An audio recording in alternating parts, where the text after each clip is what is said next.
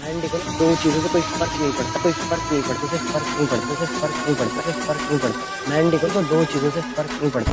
एक, फालतू की धमकियाँ, दूसरा, लड़के के साथ।